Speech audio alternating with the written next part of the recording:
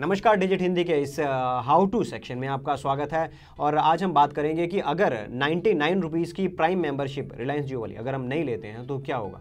हमारे साथ मौजूद है प्रोफेसर प्यारेलाल नमस्कार। जियो दे रहो पुत्र। जी सर हमारे दर्शकों के कुछ सवाल हैं। एक तो तुम्हारे दर्शकों के सवाल ही खत्म नहीं होते। जी नहीं ये जेनुअन सवाल है कि अगर हम नाइन्टी नाइन रुपीज़ वाली प्राइम मेंबरशिप नहीं लेते हैं ना लो सनु की है। नहीं मतलब दर्शक जानना चाहते हैं कि अगर हम नाइन्टी नाइन रुपीज़ की मेंबरशिप नहीं लेते हैं तो क्या होगा? और अगर मेंबरशिप ले लेते हैं और बाद में रिचार्ज नहीं करवाते हैं तो क्या होगा? अच्छा अच्छा अच्छा।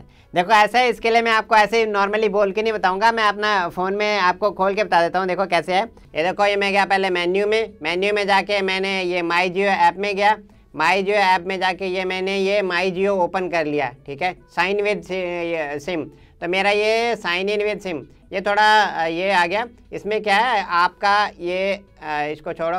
ये रिचार्ज इसमें आप रिचार्ज के ऑप्शन आपके आ जाएँगे कि आप क्या क्या आपकी स्कीम है इसके अंदर।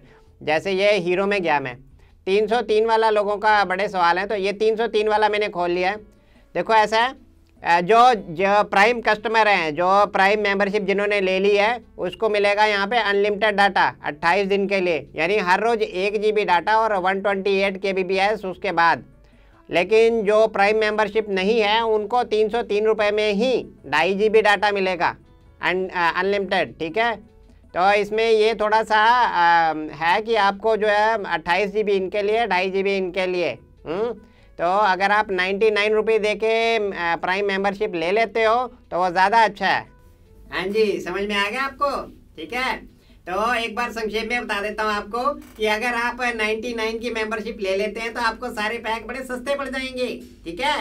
और आपका दूसरा सवाल, अगर आप 99 की मेंबरशिप ले लेते हैं और उसके बाद रिचार्ज नहीं करवाते हैं तो? तो ऐसा है कि 99 की प्राइम मेंबरशिप लेने के बाद आप एक साल तक आपकी इनकमिंग आउटगोइंग जो कॉल है वॉइस कॉल वो फ्री है। आप कॉल कर सकते हो, ठीक है? रोमिंग पे भी कॉल कर सकते हो। अगर आपका प्रीपेड है तो कोई दिक्कत नहीं रिचार्ज नहीं करवा रहे, लेकिन अगर पोस्ट पेड है, तब तो आपको बिल आएगा, हैं? ठीक है? तो इस चीज़ का ध्यान रखना है, ठीक है? और आपको समझ, लो जी। ये तो जियो खोल के बैठा है, कोई नहीं। आप इस वीडियो को लाइक करो कमेंट करो और शेयर करो, ज़्यादा से ज़्यादा शेयर करो, चार पाँच बार शेयर करो इसे, हैं?